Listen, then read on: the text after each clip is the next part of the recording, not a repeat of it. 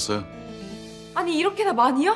어떤 걸 좋아할지 몰라서 다 준비한 거예요? 어떤 거는 다 좋아하길래 전부 준비해봤어요. 아, 닭만 빼고. 아, 이렇게 섬세하고 배려심 넘칠 수가.